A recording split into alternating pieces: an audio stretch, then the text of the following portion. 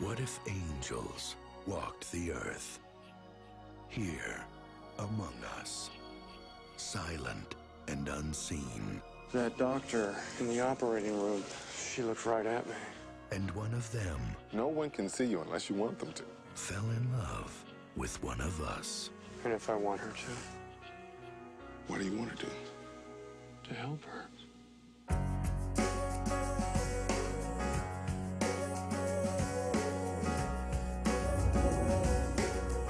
You a visitor? Well, who are you visiting? You. If you met the one you were meant for, I got this feeling that there's something bigger out there. There's something bigger than me and bigger than you.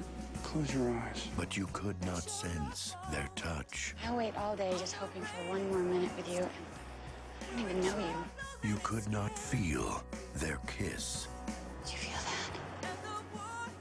No. And you could not trust your eyes. I want to see you. Would you still believe Let me see you. in love?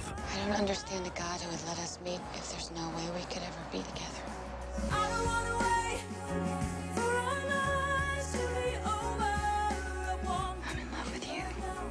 will it be He can give up his existence as he knows it and become one of us. You choose to fall to earth. And when you wake up, you're Human. Sorry. Nicolas Cage, Meg Ryan, So open up City of Angels. Say a little prayer for right. You know that if we are to stay